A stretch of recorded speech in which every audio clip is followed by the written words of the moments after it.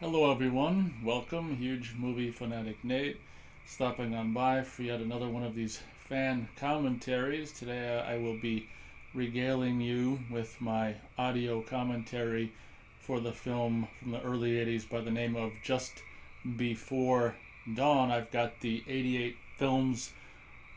I think it's like Slasher Collection Blu-ray release. I'll be watching the. Um, there's two cuts on this since the normal, you know, whatever it's called, U.S. version or theatrical. I think it's called the U.S. version or whatever. Since that one's more prevalent out there in the world, I'll, I'll be watching the normal, whatever it's called, U.S. version, theatrical cut, U.S. You know, shorter version on this Blu-ray. so let's get to it. I'll, as always, um, for obvious copyright reasons, my audio commentaries feature none of the actual sound or audio of the movie itself, just a lovely blank screen and the audio of me talking about the film. I don't know the, the dialogue very well in this movie because I don't know this movie very well, so, um, you know, you guys are welcome to watch the movie along with my commentary on your uh, on your end and throughout the movie I'll try to do dialogue or sound effects to keep you you know, to get you guys and or keep you in sync if you choose to watch the movie along with me. There might be those of you out there who know the movie well enough to just listen to the commentary and know what's happening based on what I'm talking about. But with no further ado, let's uh, start the film here. Just before dawn. Fades in, beautiful. Doro Vlado Hreljanovic presents a Jeff Lieberman film, beautiful uh, sunrise or sunset. I think it's supposed to be a sunrise. We don't know if it's a sunrise or sunset for the purposes of the actual production. Just before dawn, title appears, disappears, starring Chris Lemmon, which is Jack Lemmon's son, Greg Henry, Deborah Benson, Ralph Seymour. Mike Kellin, beautiful sunset or sunrise there, and George Kennedy as Roy. He's basically the Donald Pleasence of this film, the little bit of star power they could get. Co starring those people, director of photography Joel and Dean King. I don't know if they're brothers, it might stand to reason. Editor there. Beautiful imagery though. Executive producers by the name of those people. Don Stillman's the executive in charge of production. Music by Brad Fiedel, who'd go on to do Terminator 1 and 2, and True Lies, and other movies, I would imagine. But incidentally, um, you know, I got uh, on on eBay years ago this uh, 88 Films Blu-ray release. I want to say I'm pretty sure it's region free. That would explain the reason why I in North America am currently watching it with a non-region free normal North American Blu-ray player. Opening credits are now over. Now we basically introduce a couple of characters that are going to start off the film basically victims hunters obviously as we see a, see a dead deer on the hood of this red truck from the 60s this this guy I don't know his name unfortunately, but we're looking at this guy who's just tilting up the uh, little podium there, and this other guy's walking in. He's gonna start trying to peel off a little bit of wall drapery to bring home to his girlfriend or wife or whatever. This guy, um, if if there's any sleepaway camp fans, this this boozer here, who's uh, boozing at the podium and looking up into the hole in the roof, would also be in sleepaway camp I think this is before, like a year before Sleepaway Camp. The Holy Spirit. ha ha ha ha ha. Boing. There's a goofy, uh, kind of a dimly lit shot of some creepy looking guy in the roof hole. The other guy's trying to peel off the stuff on the wall to bring home to the missus. I'm not. I was trying to think right before I started this uh, commentary. I was trying to think of when I first saw this movie. I, I don't. I'm not hundred percent sure. Uh, I might have gotten the VHS in like, you know, the early two thousands. I may not. I think I probably would have gotten the VHS. I would imagine previously viewed from Video Update when they were purging their VHS tapes. They, you know, in the early two thousands, they you could get like uh, twenty tapes for ten dollars, and you can bet that I cleared out a lot of their horror VHS back in the day. Um, the earliest I would have seen this was probably be the early two thousands, if and when I I did that. I've got so many movies and so many years of movie fandom and collecting that I can't remember if I've got the VHS. I think I may have the VHS for this, but at any rate, uh, later on, I think in like 2005, 6, 7 ish, the Shriek Show Media Blasters would end up putting out a kind of a special edition DVD release of this, which featured um, just the standard North American theatrical cut. I want to say it actually it had two two DVDs, I think, and I think it kind of had like a second disc with special features. Here we got uh, the truck rolling, almost running this character over. Kind of a scary scene where the truck's gonna a deer falls off, boom, runs into a tree, tree and explodes. This this guy's name here is guys he's gonna die. I think he's got the one of the weirdest names in I've ever seen in a horror movie or any movie for that matter. Vachel. I want to say that this character's name here who's about to die with the hat and the vest on is Vachel. Now he sees the killer, which we don't see. We see the and I, on the on the on the audio track here you can hear the laughing. I think kind of the the goofy laughing. It reminds me of that animated cartoon character Hanna Barbera. Machete. Uh, uh, uh, it's, I think it kind of gets the machete in the groin, and it kind of comes out as butthole, as we can see if you're watching along. It's really kind of a cool opening movie kill there. Vachel, uh, that's what happens if you go to take stuff out of this dilapidated church, I guess, and we see the the killer here grab his little red beanie or orange or whatever the hell it is, and that's a a theme throughout the course of this movie where the killer will kind of don the he's putting on the vest there as well as he can over his bigger frame there kind of don some of the accoutrements of uh, the victims. Got the vest in the, orange vest and the orange stocking camp there and we've got mr guy from sleepaway camp getting scared and running away. Incidentally the, the you know this movie is it, it really begs to be seen on Blu-ray. I would highly recommend this uh, 88 Films Blu-ray. I'm pretty sure it's on it's out on you know North American distri- distributors as well. But movies like this that take play, place in the great outdoors and stuff really beg to be seen in the, the highest resolution possible. And I'm pretty sure that you know just standard Blu-ray is the best way to see this movie currently. We're introduced to our uh, our young characters here, kind of final girl and Mr. Guy with the frickin' he's always got his arm showing. kind of the fifth fifth wheel with the camera there, Franklin character. Oh yeah, here you go. Kind of driving by these these twin girls who look like they're on Skid Row. Kind of doesn't really go with the rest of the scenery, I would say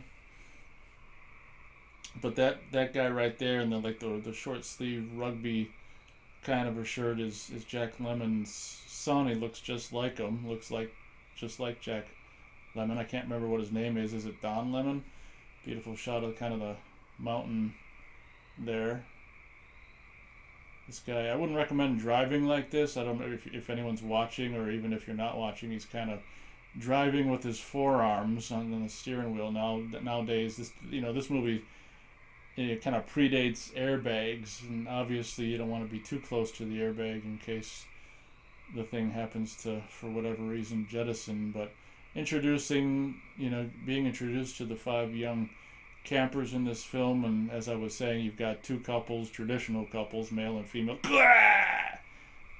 They just hit a deer right there, right here. It's like, some kind of deer cry happens there Oh, I, I, don't want to forget to mention that that we just heard. It's over now. but it, this is something that is rarely done back in, in slasher films in the early 80s and i want to say it I, I, I regard it as a kind of a stupid business decision which was you know the producer whoever the hell you know financed this film thought it was worth the money to actually you know for such a low budget you know slasher film from the early 80s they actually um, they actually like bought the rights to use that blondie song I, I don't know the name of the the song but it's a very popular Blondie song that's featured at the beginning of this movie. It's it's come and gone, in the soundtrack, but it, it, uh, you know it, it's it's one of the only times in you know I've seen a lot of slashers, early '80s slashers and stuff. And it's the only th- movie I think I can really remember of this genre and budget where it's actually you know got a, a relatively famous song in it. So I, I would regard that as you know I don't know I, I can't imagine what that would have cost to you know to to buy the rights to, to use that popular Blondie song for this movie, but I, I it probably wasn't worth worth whatever they paid. I mean, it's just ridiculous. Um, so there you go. That's my personal opinion. Now, uh, was it Jack Don Jack Lemmon's son gives him this this whistle, toot toot toot I think he says like we're on an outing here. We're we're on a goddamn outing. One of the shots, his whistles in his mouth. The next shot, it's not. So I know some of the dialogue. That that character with the arm showing constantly in the, the baseball cap will go on to say one of the lines I always laugh at when I watch this movie. Like, we don't know that. You don't know that. You don't know that. Something along those lines. Now, now we're being introduced to a scared horse, or which is uh, he looks like he got loose there in the little horse area. Now we're showing, we're introducing the back of George Kennedy's head. And it's funny, if you listen to the soundtrack in this scene right here, as they're dolly, dollying around George Kennedy from the back, you can basically hear like the sound of the dolly, you know, like rolling and on the floorboards and kind of making noise.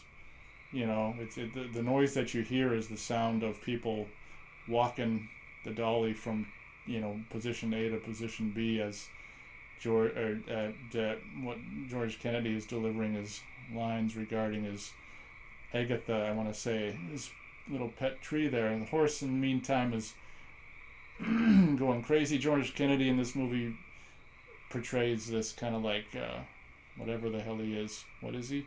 Ranger, forest ranger. I don't I don't actually know why in the in the context of the movie the horse is going goofy. Maybe it's because of the up, upcoming yuck. You just kissed the horse. Upcoming motorhome RV thing here is he the uh, George Kennedy's waving it down. Gonna give one of his famous trailer lines. I'll try to uh, try to say it in sync with the character. I don't know this movie nearly as well as, say, you know, Friday the 13th films or The Forest and stuff, so I don't know if I'll be able to do it. But this is the, the moment where George Kennedy, Forest Ranger characters, is telling these characters, like, I don't know, I, I wouldn't recommend going in there. This this one guy is I can't remember which one it is. I think it's the guy with the you know, who doesn't believe in sleeves and the baseball cap on. I think he's got a deed. This deed don't mean nothing. He's got a deed to this mountain. That mountain can't read. So he's basically going to check out this land that they quote unquote own. It's it's fun. Okay, here comes the line. I think. At least tell me where you're going, so when you don't come back, I'll know how to fill out the report. I got that pretty well in sync. Silver Lake just kind of throws a a, uh, a bogus location out. So this is um, I ain't just whistling Dixie you hear. I don't think that's what he's saying, but yeah, he, you know, this character was it George Kennedy? I want to say the actor is warning the kids not to go up there or whatever. I don't, I don't even really know why. Like, I don't think George, the George Kennedy character is necessarily, um, privy to the the inhabitants necessarily, so I don't know why he's so. You know, he doesn't want these kids going up there or whatever, but this is quite the uh, quite the motorhome as we've got the, the fifth wheel here photographer kind of Franklin character. Not not as annoying as Franklin but the fifth wheel guy the girlfriendless guy photographer taking pictures. I can't remember where this was filmed but regardless it's definitely a very photogenic wilderness you know situation here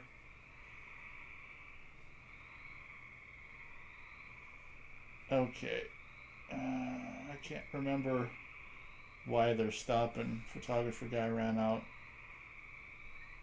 He might have saw that guy from Sleepaway Camp. Oh yeah, okay. This is the scene where the guy from Sleepaway Camp is gonna run upon them. It is kind of interesting how normally in a slasher movie both of those characters would have died at the beginning, but this Sleepaway Camp character, I think he lives he never it never does end up dying, which is kind of interesting.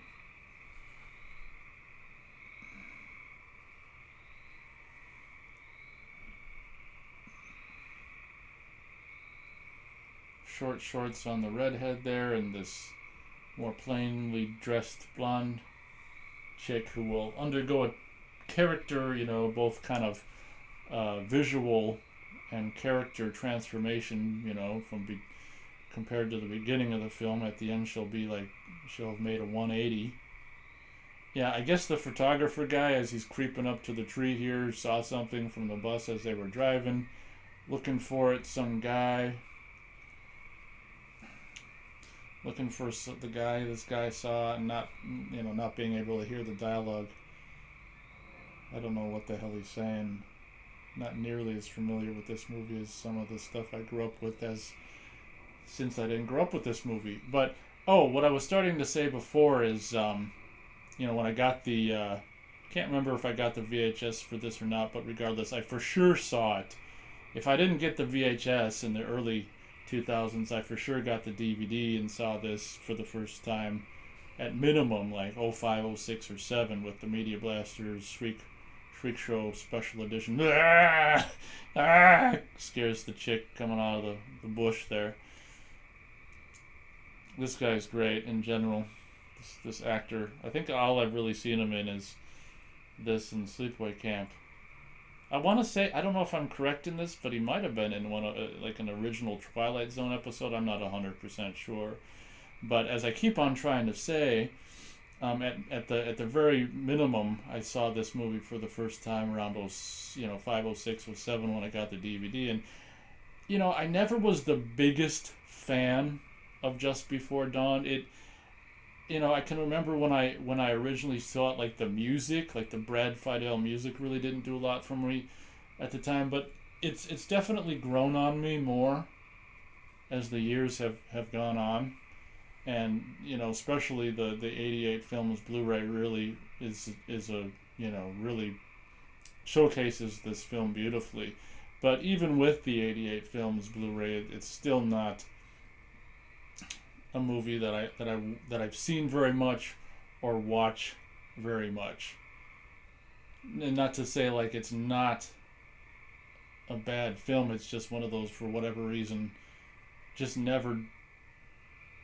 Yeah, it's just uh, never did a whole hell of a lot for me. But I I like it, and it's definitely you know this time of year I'm recording this commentary in early June two zero two two and definitely this time of year, I generally kind of make a point to pull it out at least once. It's definitely, you know, I don't know if you're if you're if you're new to the channel or if this is some of the first stuff you're listening to of this channel. A lot of my uh, more, you know, what you call it. What are they called? Regular watchers and and or listeners. Is that license plate say, say 666? I couldn't tell. Know that I'm big, huge fan of these kind of, you know, early 80s slasher films that take place in the woods, you know, The Forest, Don't Go in the Woods, Friday the 13th. This probably, you know, this film. There's probably other ones I can't think of right now. Just Stalk and Slash in the Woods. I absolutely love these movies. And uh, killer guy jumps on the back of the camper, and I think it's funny how the the kids kind of bounce like like the guy jumping on is going to make that big of a difference. But I was blabbing while the the kids kind of left behind this this drunk guy, boozer guy who wants help from the kids. It's it's funny that he he wanted you know a ride with them when they're actually going into where he wants to get away from. But I, I thought it was funny when the when the killer guy jumps onto the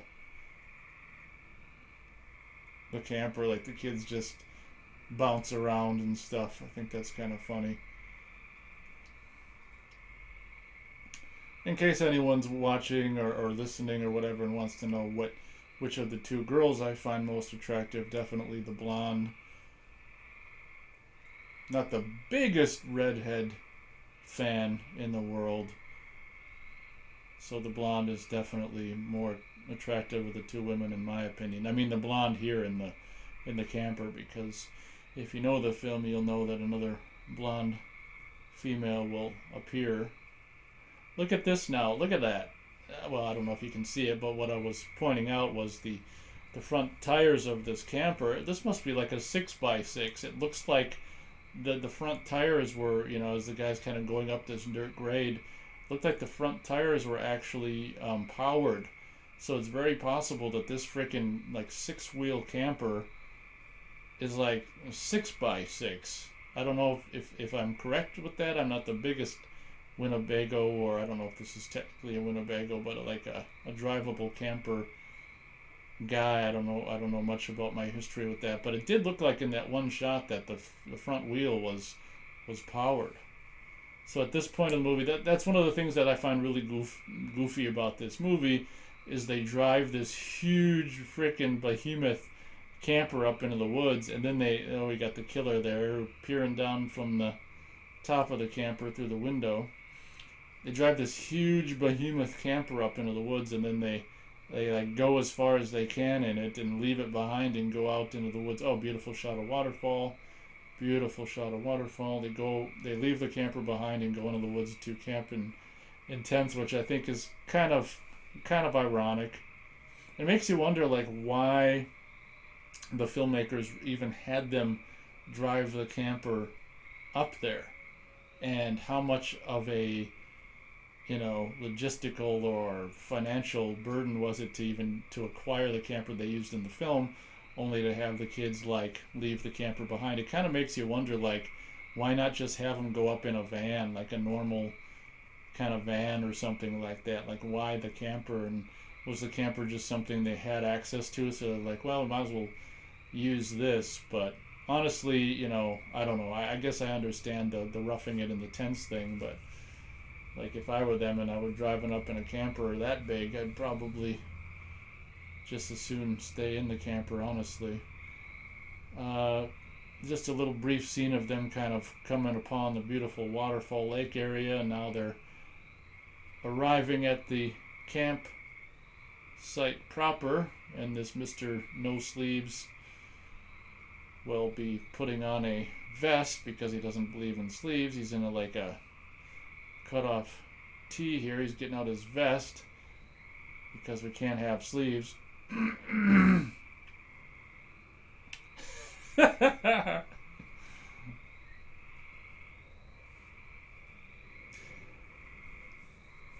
Here's the uh,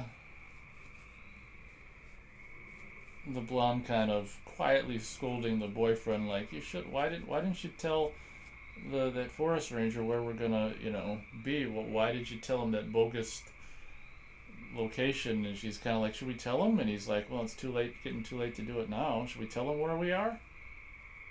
And she's kind of got this feeling of like, oh God, what's going on? There's Jack Lemmon's son with the whistle around his neck.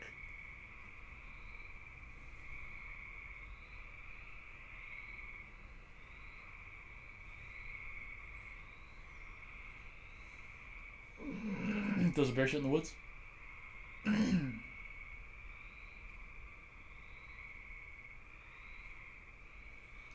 so not the biggest fan of the uh, redhead in this film, but that's okay. I definitely prefer the blonde chick in this movie as we dissolve into a fire, campfire, tent set up. This is probably like if, if I was gonna, you know, waste my money and, and, and get the rights to play that Blondie song, I probably would have played it here versus you know the introduction of the characters i mean it's just a waste of money any way you you you slice it. It's kind of ironic that they paid for the the you know the rights to use it in that one scene. So now i can't remember. I think something's on some just generic i would imagine brad Fiedel music is is playing in the boombox here i think because some muzak or, or whatever it's called. So that's it's kind of just ironic. Like usually, if a movie's got the, enough budget to, to to get the rights for a popular song, like they've got a big enough budget to get more than one song. And this movie got the rights to one song, and it's used up, and now they have to have a scene where they just got, you know, just nonsense playing on the uh, the boombox, and later on when they're dancing, there's this goofy ass, I would imagine Brad Fiedel tune that's like, eh, I can't shit, I can't remember it. It's like baby, eh, baby, eh, baby. That's coming up later though, but at this point the blonde is is hearing something out in the woods and they're all getting freaked out. Pretty cool and effective and, and moody, but I just eat this stuff up like this campsite, campfire, She's thinking it's her boyfriend.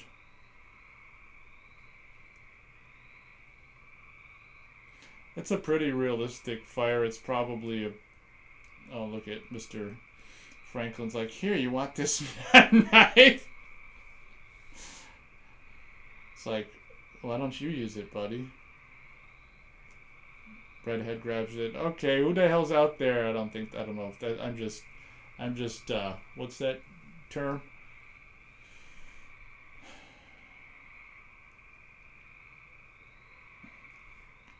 Guessing what she's saying. As uh, I'm ashamed to say, I'm not very familiar with this movie and enough to really do the dialogue or very much of it. But as we can see, or maybe not see, if no, if you're not watching this, just listening, boyfriends come out of the bush and scare them. The the three scared out of their wits, campers and what's his name's got a bottle of wine Blonde is st- still thinks something's out there. And I think that hand that was on the tree was in fact like that blonde, uh, whatever you want to call it, mountain girl that shows up later. I, you know, I, I do think that that girl is out there watching them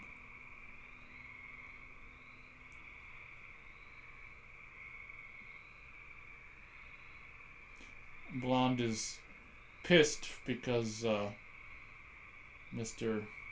Sleeves don't exist, and the other guy played that joke scaring him. Yeah, honestly, when I'm watching this and, and the Jack the, the, the, the, the Jack Lemmon's son character, it's kind of annoying, and that's kind of one of the reasons I'm not the biggest fan of this movie. Like, he's kind of annoying, and the, the redhead I think is kind of annoying. I like the character of like Mr. Sleeveless and his girlfriend and stuff. Like, um, as we see her the next morning wrapped up in a blanket. I like them too, but the Jack Lemmon's son and the redhead I'm not keen on, and I guess I don't really care one way or another about Mr. Four Eyes and photographer guy. This is the part of the movie where this blonde is kind of disappointed in herself for not taking initiative and the, and the night before and grabbing the knife like the redhead did. She just felt like a helpless little child. This is where she's going to make the 180 degree change from the beginning or from the character she is now towards the end, which is actually one of the, in my opinion, one of the coolest things about the movie. And looking at this blonde here wrapped up in a blanket, yeah, she's she's definitely definitely a cutie pie, and I, I love her character in the movie. And honestly, a, as she does, I, I'm not keen on her transition, like her her uh, physical or appearance or her appearance transition. I don't towards the end of the movie, which I mean, anyone who's listening to this knows. I would imagine knows this movie, so I can just say it that the transition goes from this kind of plain Jane, maybe virginal kind of, almost maybe tomboyish kind of character, to more of uh, you know her hair comes and she lets her hair down throughout the course of the movie. Ends up with short shorts and putting like lipstick on and stuff and you know the short shorts are fine and the hair down's fine but i'm not the biggest makeup on women kind of a guy. And honestly, I think uh, the way she appears in this movie at this point, you know, is the way I prefer. Kind of just hair up, no makeup, or at least no discernible makeup. So now all five of these characters are coming ac- across this kind of mountain girl, if you will. Kind of I don't know what drinking or and or washing up on in the stream there scaring her away. That uh, the shirt that the redhead is wearing, I don't know if you can see what I'm seeing, but is kind of horribly 80s. The shirt could be from the 70s, I guess. There's Mr. Sleeveless.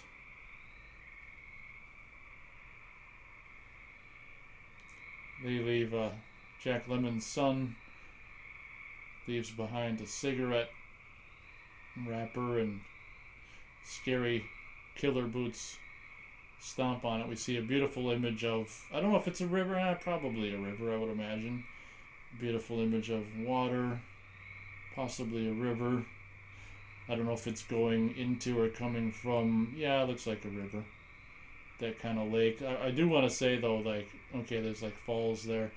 That that kind of lake and waterfall area that I think yeah it shows up again in the movie because kind of a pivotal scene with the the toplessness of the the redhead. Oh, okay, plays a more of a that the the waterfall in the lake comes back in that topless redhead pivotal scene, but now we're introducing the rope bridge, which is really really kind of scary and just I don't know if you're watching along with me. It's just so rickety and just like oh my god. Um, yeah, I'm not too sure I would be uh, up, up for doing this, and yeah, probably wouldn't because it's just so rickety and it looks like those there's like a rope on each side to hold on to. It's like you're kind of walking on a big thick rope and then there's a rope on each side to hang on to. But the, the rope that you hang on to are so just like I don't know rickety and stuff. It's just kind of scary. Beautiful shot of some waterfalls there, but that rope bridge is just being introduced now, and it'll go on to be a little more of a integral play a more integral part later on, just like the. I'm just laughing.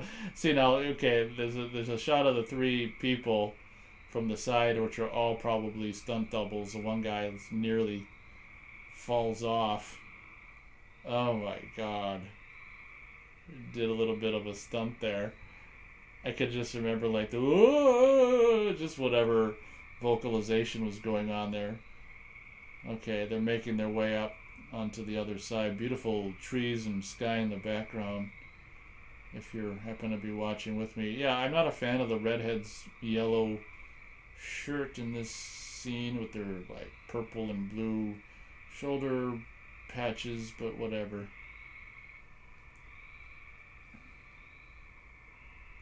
Yeah, I probably wouldn't traverse that bridge.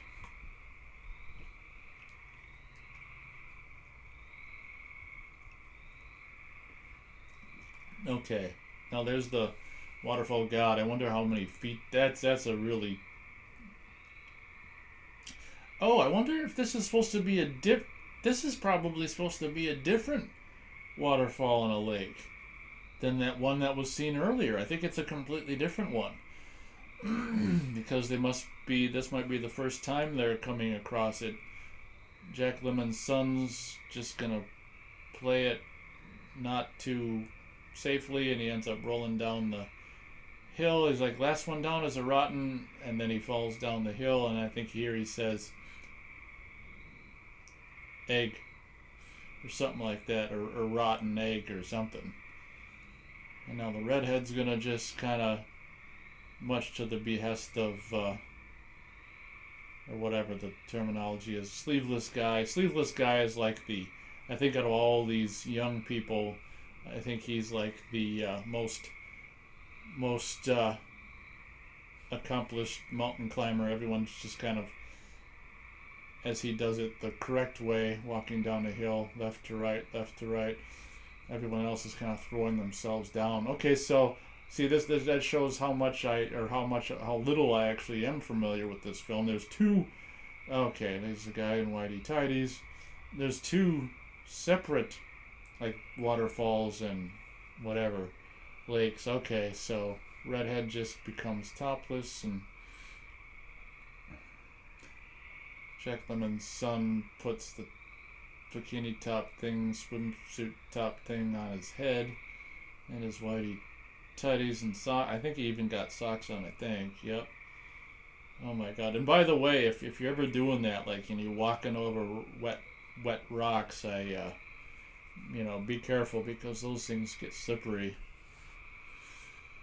They definitely get slippery. Right now, see now the the blonde, who I would regard as the cuter of the two main actresses in the film, is kind of I think she's her character here, although I don't think she has anything to be jealous of. She I think her character is kind of jealous of the you know, just uh, uninhibited nature of the redhead and as we can see her boyfriend is kind of watching the topless redhead but yeah, she uh, you know, the the blonde's got nothing to worry about. I I uh, I like her more than the topless redhead.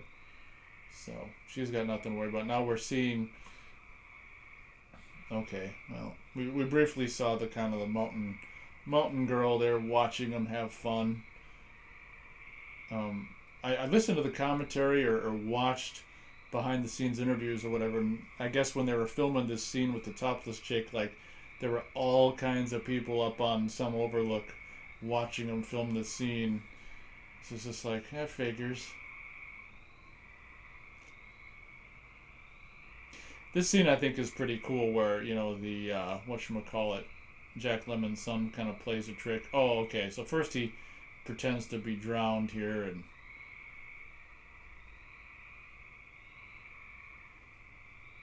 plays a trick on her, but what ends up happening later on is, is really pretty cool.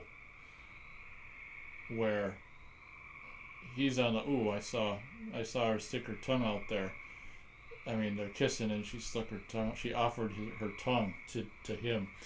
But this shot right here, if you're watching with me, and even if you're not, is a shot of them kissing in the background. You can see like the killer kind of coming out of the falls and, and going. You know, he's got the vest on and the the orange vest and the orange cap going out of the falls into the you know the water. And this is the scene I was talking about, which is pretty cool, where this uh, whatever the hell his name is, Jack Lemmon char- son character, is gonna swim to shore, and the killer's basically gonna feel up the redhead, and she thinks it's boyfriend, and she finds out it's not. Kind of a cool little thing, but um, you know, as as we're probably like looks like uh, the little counter there, 37 minutes into the film, there comes the killer's hand on her bare back. At this point, we pretty much know, even though we haven't seen what's his name on the shore yet, kind of pretty much know that yeah, this is probably uh, yeah his hand his his arms all dirty. This is probably not her boyfriend. Yeah, there's Whitey Tidy on the rocky shore. So she's playing with this guy in the water there she just realizes, oh my god, who was I playing with? They managed to make a fire on the rocks, which I don't know how they managed that.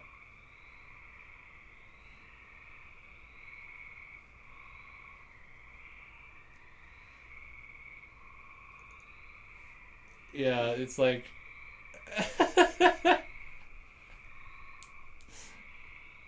Over there!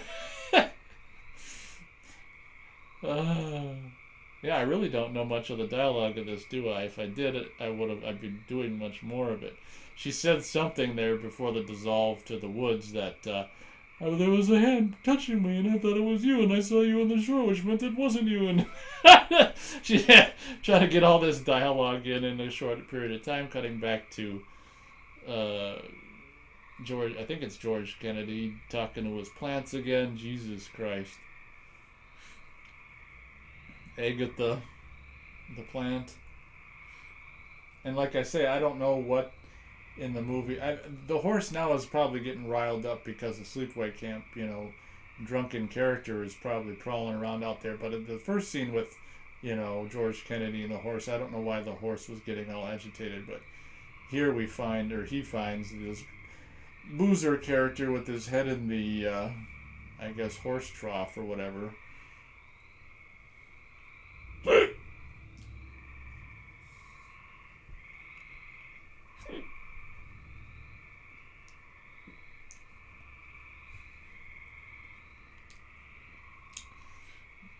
and now um, sleepaway camp guy is sleepaway camp owner guy is telling George Kennedy this big monstrous mountain man that he saw and killed Vachel. Isn't that the goofiest name? for I mean I was gonna say for a guy, but it's really a goofy name for anyone. Vachel, like V A C H I don't know how you'd spell it. A E L. Vachel. I saw the horse back there kind of jump like there was a loud noise or something.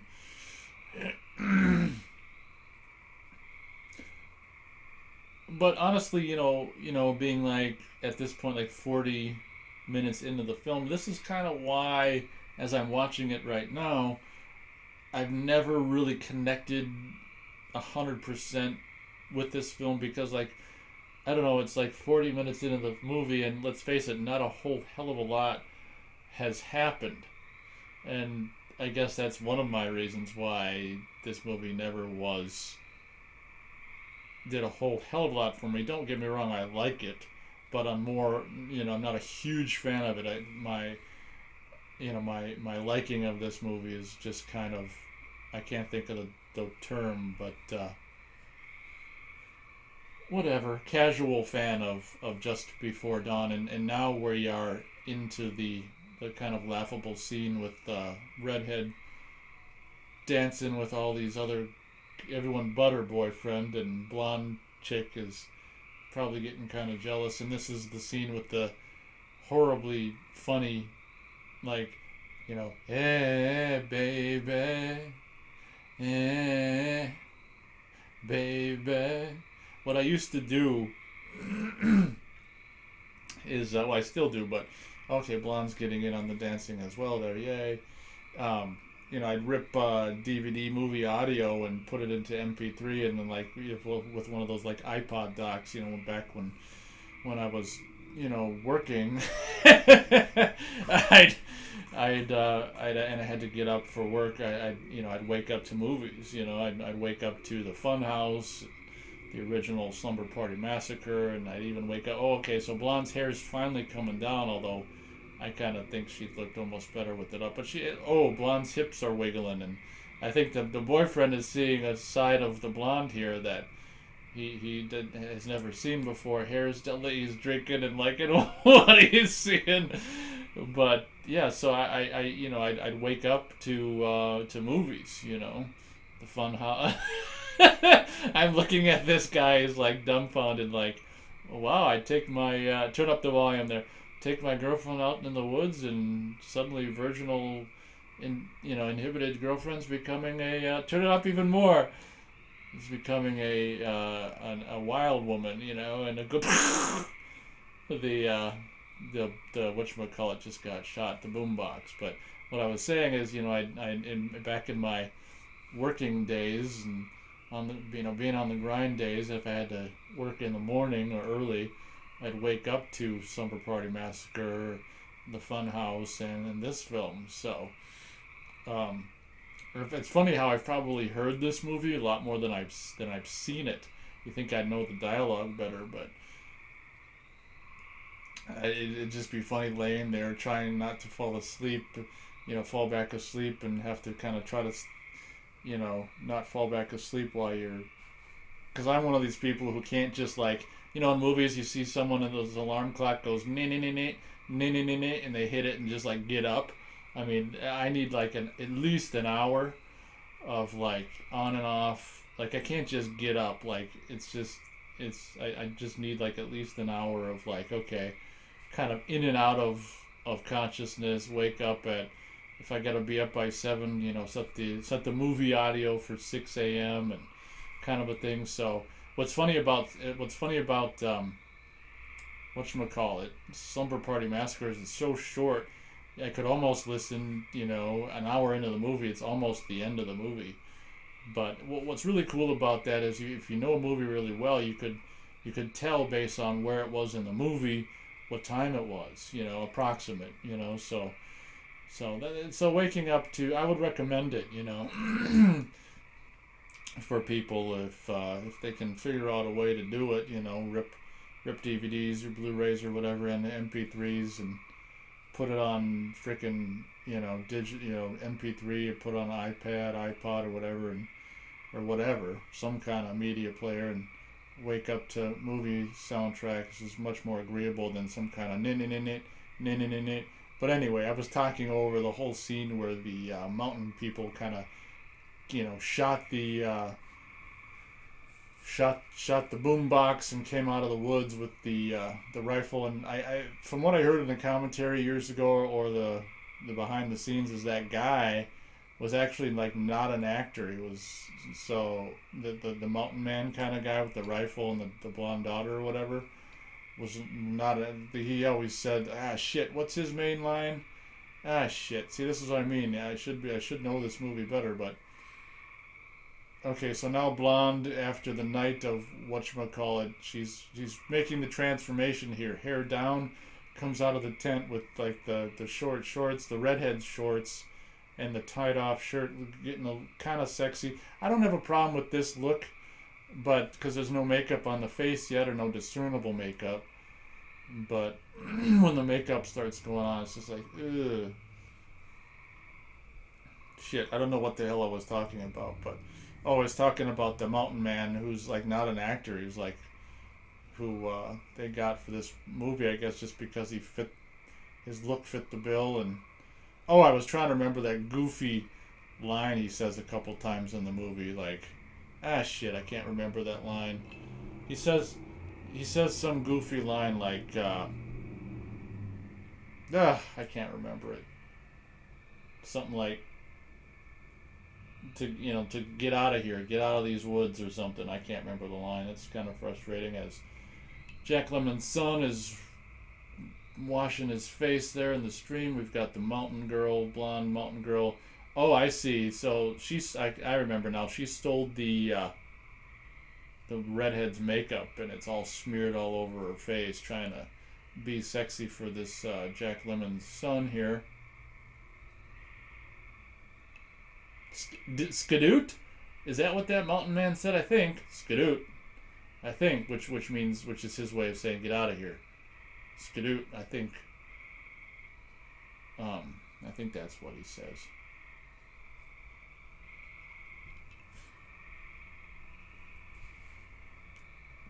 So as we can see here, Mountain Mountain Girl has a thing for Jack Lemmon's.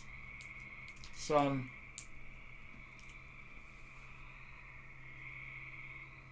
it's really a shame, you know, about oof.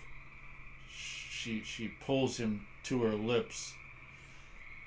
You know, looking at this makeup, you know, incorrectly smeared all over her face, it, it is a shame what quote unquote culture did to programming women and making them think that they got to smear all that crap all over their face.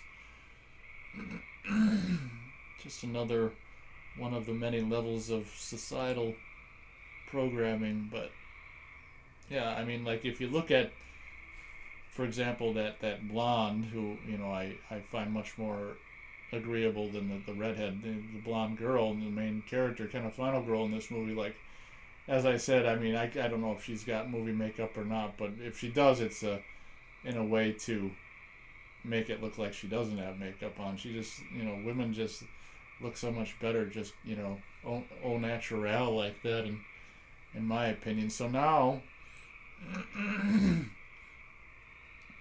this mountain girl is kind of. How is she getting?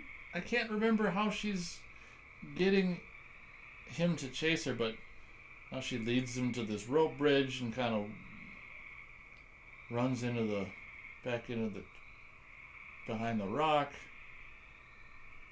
And he's like, "Oh, don't be afraid of this bridge," not knowing that she probably saw her brother or whatever, mountain man brother. So this is what I mean. Like, oh my god. So there was a, a pretty cool kill at the beginning of the movie, and then it takes nearly 50 minutes for. And this guy doesn't even die on camera. So, you know, not to say that, you know, a slasher movie needs to have just a huge body count, but it is one of the things that, you know. It, it's a it's a small amount of characters and they don't start dying off until you know nearly 50 minutes into the movie and even when they do it's like i don't think you, you see it necessarily happen he just kind of falls in the water but here he kind of that's the first real close-up of the how, how you doing he makes it to the other side and first this is kind of cool the guy chops his hand with the machete jesus probably double there on the far shot running away now he's chopping the oof chopped one of the ra- rope railings off, and there goes the other one. Uh, this stunt is pretty hardcore, man. Falls, oh, stuntman falls into the water holding on to the rope.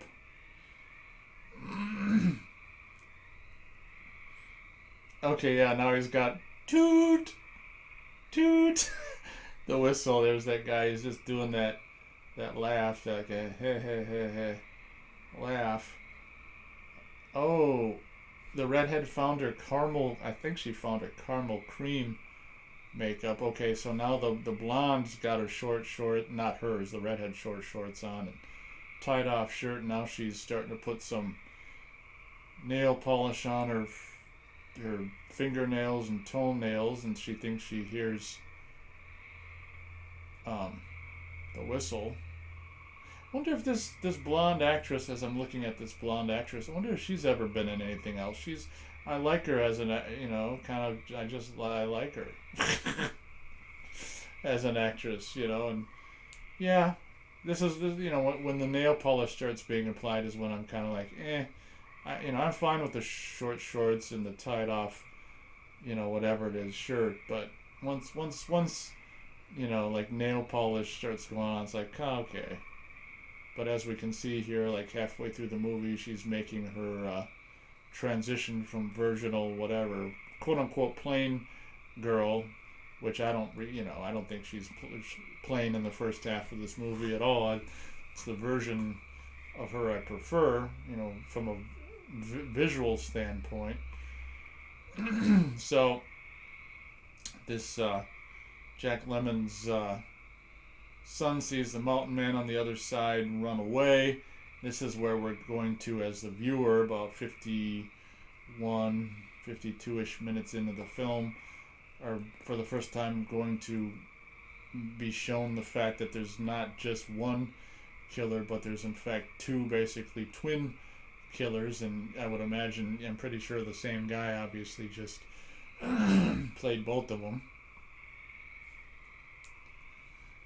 the this actor kind of doing a little bit of his own, you know, whatever stunts or whatever physical work, crawling himself up the rope, or at least in some shots. Okay, he makes his way up, and we see the boot step down. It's just like, uh oh. At this point, look at this stunt right here is that's a stunt. The stuntman kind of rolls off the rock and, and falls into the water and the, the camera operator did a great job following them, follow, following the body falling into the water. That's a great stunt, and it does kind of make the viewer wonder, like, you know, what does he know another way around, or because we don't know. I, I guess you know, watching this here silently as I'm doing a commentary, I guess we don't know necessarily. It's not necessarily a reveal that there's two of them. It's just like he can maybe he can either teleport or he knows another way around or he jumps real far. So it's not necessarily a, a reveal so much of, of them being twins yet, I guess. But that scene of the guy falling in the water always gets me. It's like, wow, that's a stunt. So now Mr. Camera Guy, fifth wheel, four eyes dude, is fo- come you know find found the church that was featured at the beginning of the film. And I want to say some stuff happens here. I would imagine, obviously, that this is just a real. It's not like they built this. I wouldn't. I wouldn't imagine a real kind of abandoned church that they found and they filmed in. I would imagine. I don't know very much about the behind the scenes uh, info of this film, but I would imagine that's the case for this location. Little bit of filler here as uh, the fifth wheel guy is just walking into the church. He puts his spectacles down on one of the stinky pews.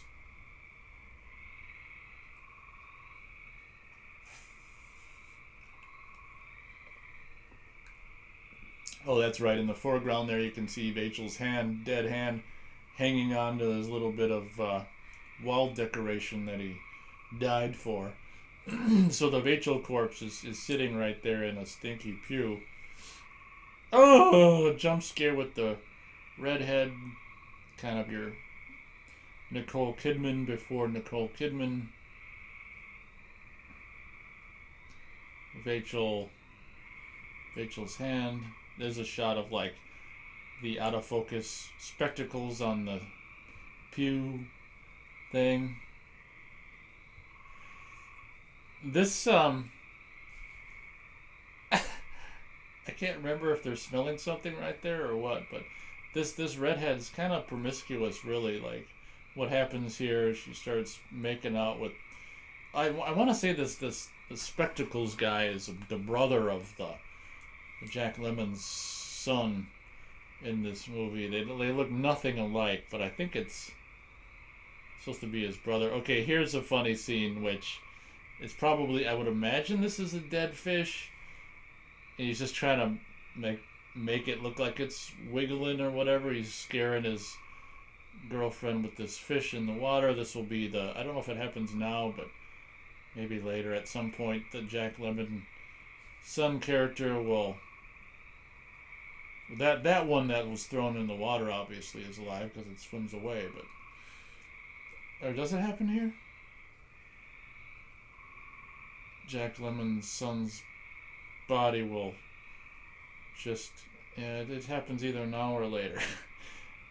Come out into the water and mm, there it is. Yeah, splish. Probably a stuntman, I would imagine. And just when things are looking up for Mr. I guess he does have sleeves on in this scene. Mr. Red Shirt with sleeves, the the corpse of Jack Lemmon, son. It's too bad I don't know the characters' names. I could say the characters' names, but that's just proof on how much I really don't watch this movie. But I will say that the Blu-ray is, is, is positively striking and I think this is some honest to goodness real. Look at that. Oh my God. That's some honest to goodness male on male, mouth to mouth. Yeah, see? Yeah, she, careful with them rocks. She's slipping on probably wet rocks in the water there as I don't um, disapprove once again of her short shorts and tied off shirt so much as the whatchamacallit nail polish and the, the coming makeup, she looks like a freaking night walker towards the end of the movie. Streetwalker, night walker, I don't know. You know what I mean. But uh, some actual honest to goodness mouth to mouth there. A lot of times, it, you know, they'll they'll fake it for a movie. You don't know that. I think this is there where he says it. That was the whistle. He was calling for help. He's calling for help. You don't know that. Okay, so this is like almost an hour into the movie, so this is probably like when I woke up with this playing and audio back in my, you know, having to get up for work days. Probably where I had to get up pretty soon here. I had to get out of bed, ass cheeks sticking out of the shorts. Yeah, a couple times this character, I think it was just then, you know, he's like, you don't know that. Just the way he says it was so funny. Okay, they must be, okay, so now they're doing some photo with the redhead here in the cemetery some photo shoot with the Four Eyes dude. It, looks like there's probably a definitely a there's like a fog filter or something they must have put you know on to de- deliberately to make this scene look foggy kind of like what they did in uh, some of the scenes in alfred hitchcock's vertigo as well like deliberately you know put some fog lens or filter on to give it that appearance i personally don't really like that appearance. It, it makes it look like it's humid outside and there's just the lens is fogged up. Okay, so at this point, he doesn't know where his glasses are and he thinks that they both think that her boyfriend is, you know, creeping around the building when it's the killer and she's like, oh, let's give him something to think about. So now they're, she's smooching him to make him jealous, and it's kind of a cool a cool gimmick where this guy doesn't have his glasses, so he oh okay, and he took his jacket. So uh, this I like this how this plays. You know, he can't see that it's he just sees his brother's jacket all blur all blurry on the killer, and he looks pissed. I see. Okay, so he's coming into focus. Stab. Now when this guy, bam! When this guy falls falls down, the camera, which is really not something you want, it's really heavy. You don't really want this camera just made of steel and metal to hit you in the face. When this actor falls down, if you're if you're watching the movie and if you have ever slow mode that scene when he falls down, the camera smack it's around his neck. The camera comes smacking and hits him in the face. So you can tell he's like, oh, but he's supposed to be in pain anyway because he's got a machete in his stomach. But He's, that's probably real pain on his face, like because the camera just made out of steel, just smacked him in the face when he fell over. But it's funny how the machete right there is going up and down because he's breathing. And now Redhead is just discovering Vachel's hand, the body of Vachel. Isn't that a funny name? Pulls out the machete, gonna use it on Redhead. So that was actually the first um, God, it's like an hour into it, and it was the first on screen kill since the first kill in the beginning with the same machete weapon. So that might be one of the reasons that I never was crazy in love with this movie is, is it's just like I mean it's obviously the you know one of the strong things it's got going for it is the fact that it's just beautiful. It's like all takes place out in the woods. So obviously that's a huge, you know, plus okay, here is where it's behind her. This is where it's definitively revealed that there's two of these guys, twin, you know, mountain men killers, because she was just looking at the other one. Okay, yeah.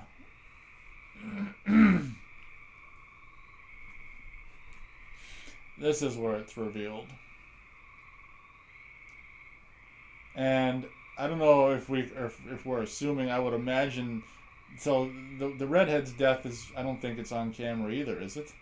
I would imagine they're kind of the the one twin is probably take doing something sexual with her. I would imagine, as the other as the other one takes pictures. I don't know how they're going to get them developed, but Mister No Sleeves, who I guess does believe in sleeves, and blonde back at the campsite stakes are high. One, one of them is dead and you can't find the other two. Where are they?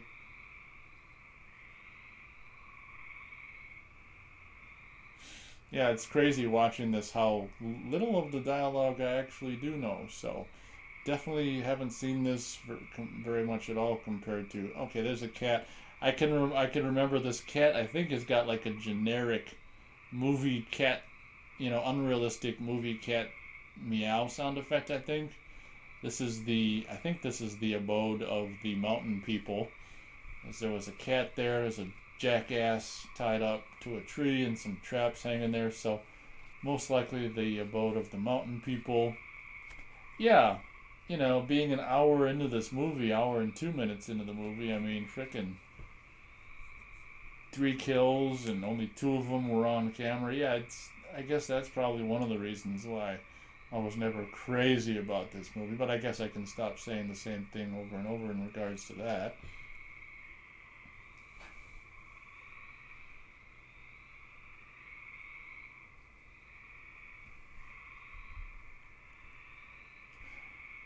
Yeah, it's funny watching this movie now, and it's just like, wow, I, I, I can't. I, I remember now that, uh, okay, Mountain Man, skidoo, skidoo he's definitely got a Mountain Man look. I'll tell you that. There isn't a lot of uh, what the hell is his name? Is it Robert Kennedy? I or George Kennedy? Or John F. Kennedy? I can't remember. No, no, I think it's George Kennedy. Not very much George Kennedy stuff in this movie, is there?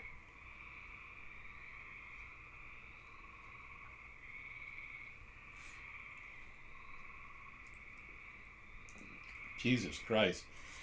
The the the woman who's playing this guy's quote unquote wife or whatever is like 20 or 30 years younger than he is, but it's probably realistic mountain men relationships. Skadoot. Man, that guy's red shirt sure is red on this Blu-ray release. Yeah, the, her ass cheeks sticking out of the shorts.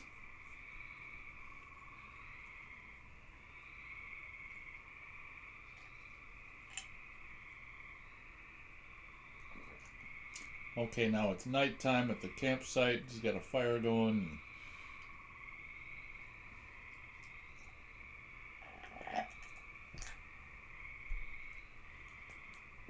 So what's interesting about this movie, and one of the things that I do think kind of sets it apart from other movies like it from the era, is that it's interesting how it does a kind of a, a, a role reversal or a a role swap, if you will, where the um, the male character kind of gets you know terrified and, and petrified and becomes helpless.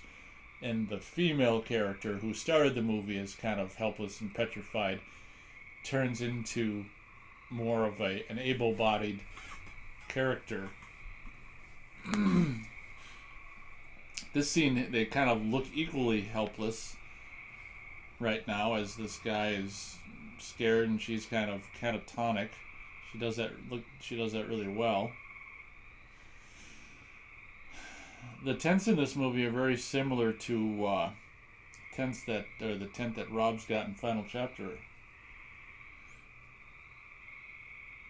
Oh, it's, it's later on is a funny scene where the, one of the tents falls over, and I don't even know why it falls over. If it's supposed to be like one of the killers is there and he chops it down or whatever, but the guy's like, "Did you set up that tent? Who told you how to set up a tent, huh?"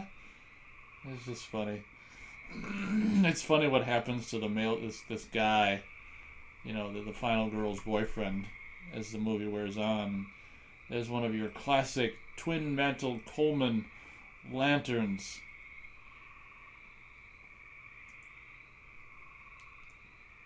Essential for any camping trip. I'm a sucker for, for those things. I, I love those things. It just kind of goes with the whole genre, camping genre. And I love that, that, that they're so prominently featured in the first Friday the 13th. And it's like you gotta have your Coleman lantern in your camping outdoor horror film slasher. At least once.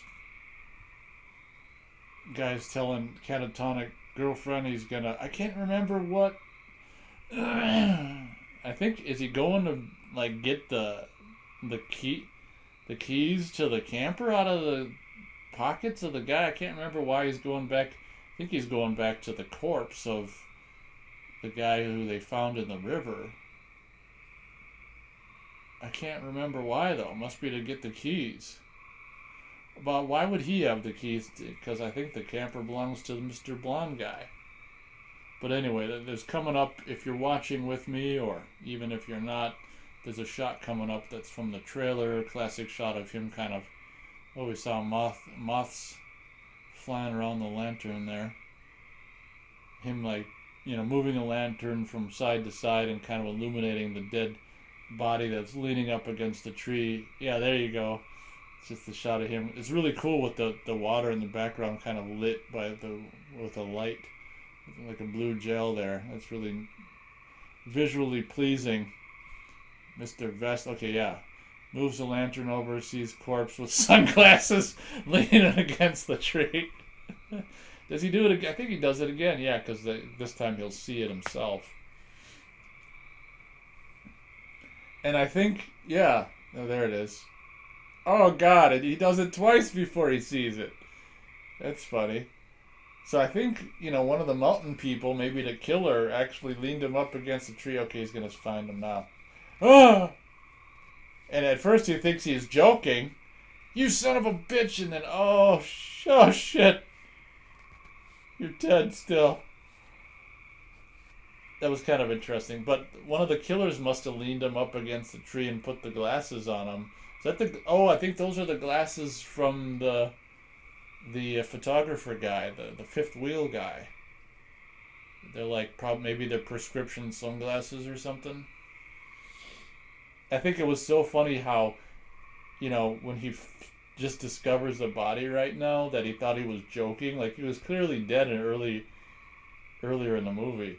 Yeah, yeah, he must be digging in his pockets for the keys. I don't know why this guy would have the keys to his camper but uh, you know, whatever.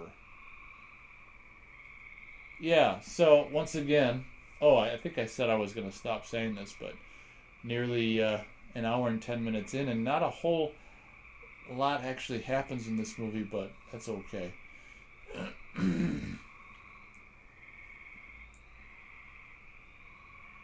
it's funny how, you know, I, I was kind of, as I'm watching it, I'm kind of comparing it to don't go in the woods a little bit and kind of wondering, well, which one would I rather watch? And obviously, there's a, I mean, there's a plethora of kills in, in Don't Go in the Woods compared to this, but you know, I mean, obviously, this is going to be a more, you know, all around more competent film than Don't Go in the Woods, but I think Don't Go in the Woods, honestly, at least in the first two thirds of it, honest, honestly has a lot more interesting stuff going on. Like, just so many just introduced you know victims and kill them over and over and over kind of thing and the absurdity of Don't Go in the Woods is, is probably much more entertaining at the end of the day than this film, although this film you would regard as being more competent as Don't Go in the Woods. There's things about Don't Go in the Woods that, you know, rival this film, probably overall entertainment value. My, you know, I, uh, I think it was last year I did a commentary on Don't Go in the Woods, and the, I love that movie, but the problem with that movie is like the last third of it is just so boring, and it's just like God, it's just there's, there's a couple movies like that where for for whatever reason, like the the part of the movie that should be some of the most interesting, you know, like the last third, is actually just boring as shit, and that's one of the the bummers about Don't Go in the Woods, in my opinion, and. I mean, this movie here, watching it on silent, I mean, Jesus Christ. I mean, it's it's like, and you know, you, I, I can't say that nothing ever happens in the movie, but it is interesting how like not a whole lot really happens in this movie. George Kennedy just rode up on his horse to the mountain men, you know, abode or whatever, and basically, I think he's basically telling them, "I'm gonna kill, I'm gonna kill the mountain man or whatever," and Blondie barefoot. She must not own shoes. That's actually really runs out in the woods. That's really good casting. Like that blonde really does seem like a mountain woman. Now she's gonna hitch a ride with. Uh, is it George Kennedy? I can't remember. and and tell them where the camper kids are. Cutting back to blonde, wrapped in the blanket, just kind of catatonic. Yeah, see, I guess the reason she takes charge is because she's forced to because of a, you know, her her boyfriend becomes inept. Yeah, she you can see. I don't know if you're watching with me, but if you are, she she had this natural urge to like because her cheeks are sticking out of the shorts right there. She stood up, her hand almost went back to like try to pull down the shorts, but then she like, whoop, I'm in a movie.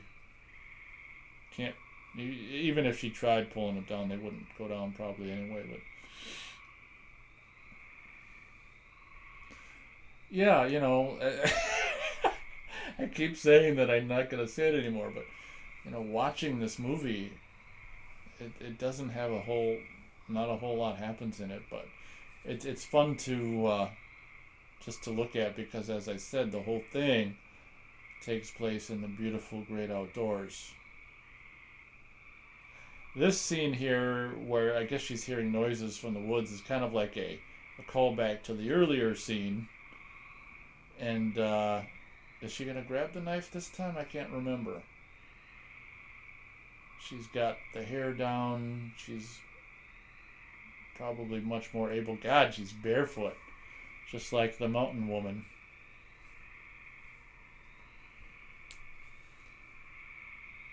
But it, she seems, you know, strangely not kind of almost like at home in the woods right here, almost as if the more time she spends out here, the more it just becomes, oh, okay, here comes the killer upon her.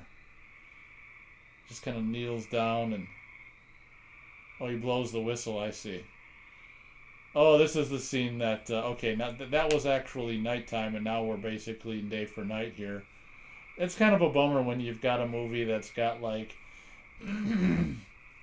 night scenes like I think all of the night scenes in this movie up until this point were actually night for night, and then, oh okay, now we're back to night for night. Yeah, that's kind of a bummer when you have when you alternate in, in the same scene between like night for night and day for night. Like if you're gonna kind of like the burning, if you're gonna have a day for night, just just do all day for night. But when you're alternating between night for night and day for night in, in the same scene, it really it really uh, sticks out more in my opinion.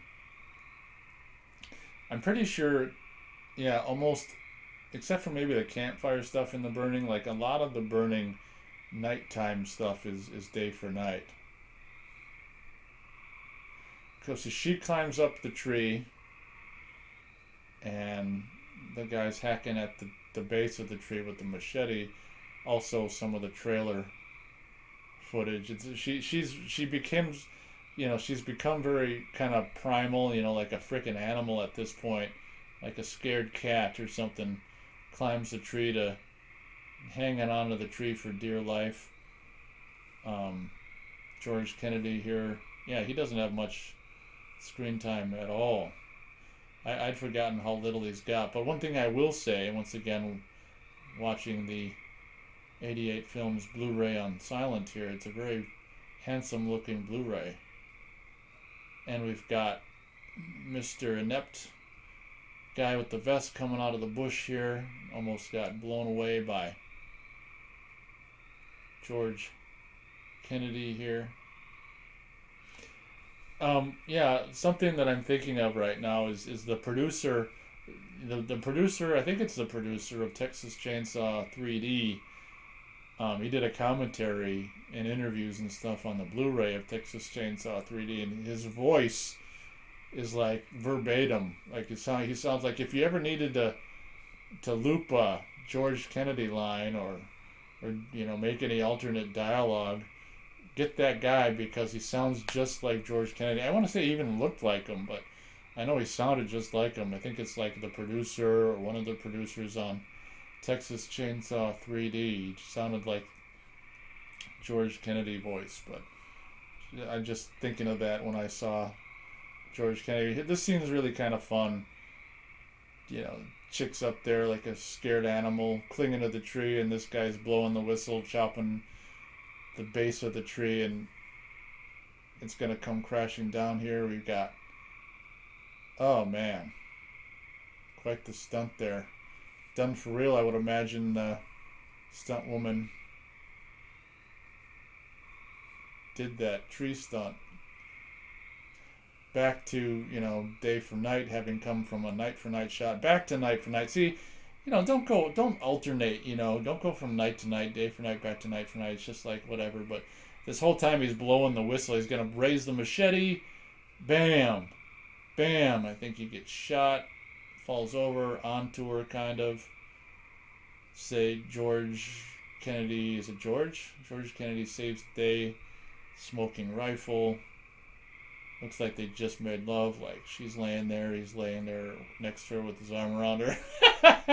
At this point, when you first see it, you don't know if uh, if she's dead, you know, from the sheer impact of this guy or not. but moments here we'll find out that she's not. Kind of crying there with the. I wonder if. I wonder if they got a bigger size jacket for this killer to wear. I don't know if that would have fit. I, I wasn't paying attention to how well that jacket was fitting him. Got Mr. Inept Vest guy trying to dig his girlfriend out from under the killer. At this point, I would imagine both of these characters think that one and done killer, uh, everyone here, George Kennedy character and the, the couple here, the, the surviving couple probably think that, oh, day for night. God damn it. God, I wonder why. It's got to alternate between night for night and day for night. At this point, all three of them probably think the trouble's over. Day, back to night for night. Jesus. Rolls them over. Uh,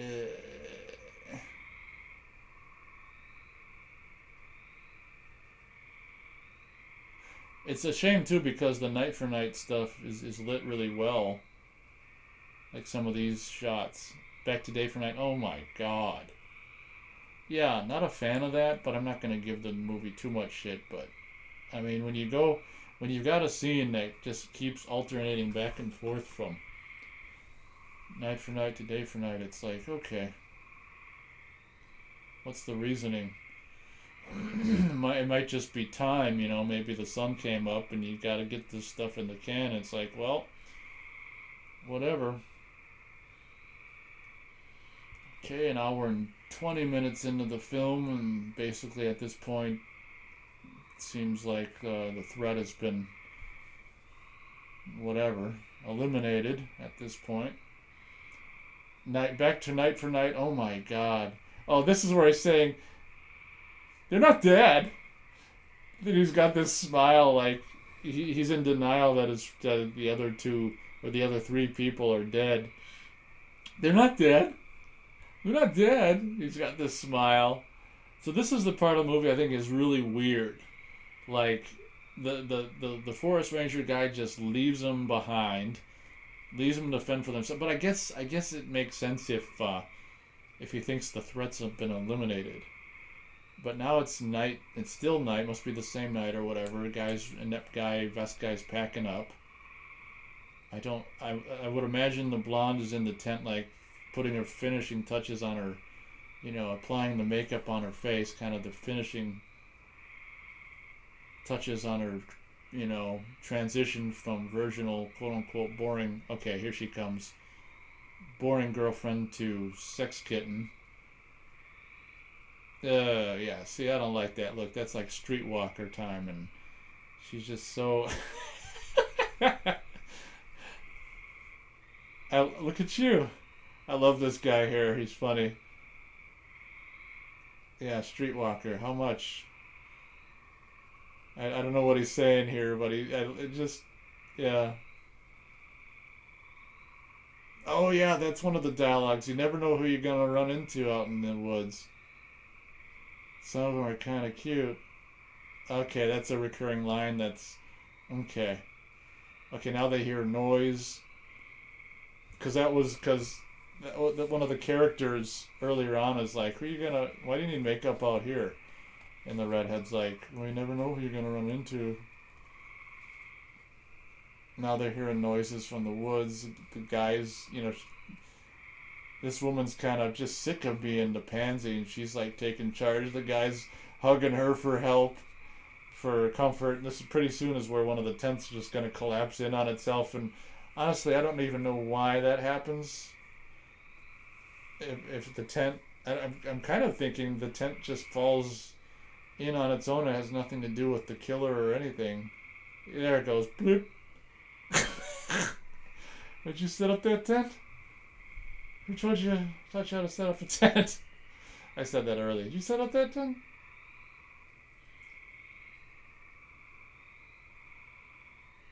Oh my god, that guy! I, I, that guy is so funny in this part of the movie. He's just so pansy. It's so funny. The woman's just so sick of being terrorized from the, you know, the darkness of the woods. She's gonna take initiative. She's all dressed for it with the makeup and Daisy Dukes. She's ready for anything that's gonna come out of the woods, and and uh, yeah, honestly, I will say I, I do like how she she offs the killer. I you know I'll, I'll just save it for when it happens in a couple moments here, but we'll talk about it as it's happening. But look at all this kind of filler, I guess. But I mean, it's uh, okay. Oh, oh, oh. Point of view. Oh. We've got the the twin killer here. Looks like the inept guy got okay. She jumps on, got chopped with the machete, and oh yeah, the the stuffing's coming out of the vest. Stunt lady falls on the ground off the back of the killer man. Bam. She's ready to defend her inept boyfriend. Bam punching him or whatever. Look at the guy. Well, I don't know if you've seen it. Uh, now that must be this this scene where she he's the guy's holding her up. I mean, I bet those shorts are. Look at that, like cutting into her crotch like nothing. You ever want to have to happen have happen to you to you, but trying to do a bear hug on this chick. Blood's coming out of her mouth. Looks like the killer's succeeding. And that boyfriend watches on in horror paralyzed with fear. Well, to be fair, he's got a wound. Now she's going. She's not going to take it. She starts raving like an animal, falls to the ground. Kind of attack. I don't know. Killer kind of. You know, okay. Well, she's regardless. She's attacking him, kind of. It is interesting how it's a role reversal. Like the boy, the boyfriend's cowering in fear. Okay, here it comes. this is really cool now. She's got to kill this guy. This is one of the coolest, one of the most nasty things in a movie, really. And it just looks so real. Like she's just shoving. She kills this guy by shoving her fist, her whole hand, in his mouth and just like suffocating him with shoving her arm in his down his throat. And what's interesting, the the way she's kind of on top of him, it's kind of slightly sexual as well. Like I bet the guy had a Woody when they were filming it, because I bet he never had, you know, a woman like this on top of him before. I bet you anything he had a Woody during this. He's like, let's do it again. I can do it better. Oh, I can remember here as she's removing her hand, there's this really nasty, realistic kind of sound effect of like I can't really do it because, but it's like this really nasty sound, which actually really comes across as really realistic, like the the exhale of whatever remaining breath that the corpse had left in it. But anyway, say what you will about the movie, but that ending, man, that shot where it was just like her pelvic area like the cameraman didn't pan up with her head for some reason. I don't know if that's how it was supposed to be, but that was funny. Okay, now it's dawn. For real, fire is still going. I love how fires just can burn for endlessly in movies without any wood needing to be added. But yeah, so it looks like the makeup. I think they have a. Maybe you just can't tell as well in the in the daylight, but it doesn't look like the, her makeup is as heavy in the in the dusk light here. But yeah, that is really cool how she dispatched the second killer with shoving her fist in his mouth. And here comes uh, out of the bush. This is I don't think I really mentioned it, but the, these two killers, the two the two male twin killers are you know the brothers of this this mountain girl and this, the sons of the mountain man. Yeah, the, the shot of the blonde here, bloody fist, Daisy Duke's ass cheeks sticking out. She ain't taking no shit from the woods anymore. Meanwhile, boyfriend, helpless, cow- cowering on the ground, weeping. Ah, help me! Uh, my vest.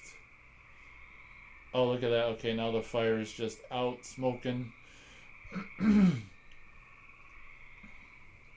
yeah, honestly, it did go from like night to, to morning a little quickly, but we'll let it we'll let it slide. So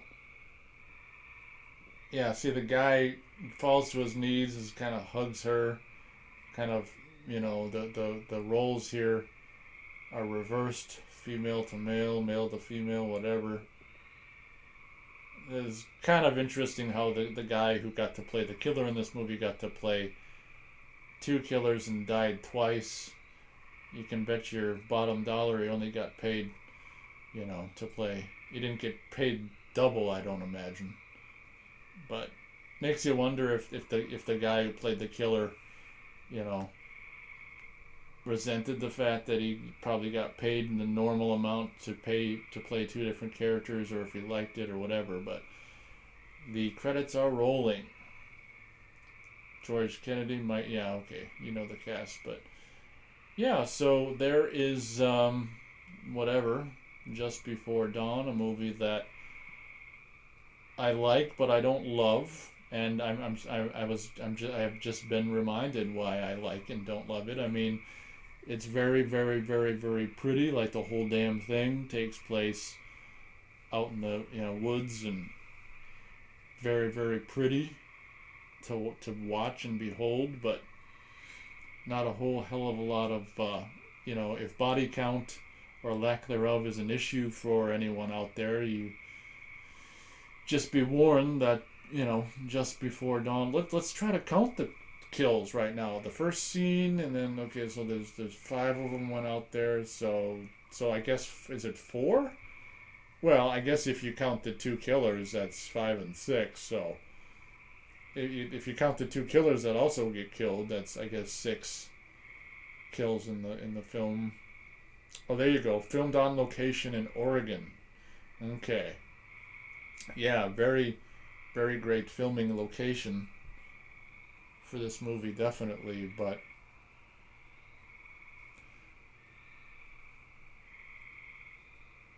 yeah,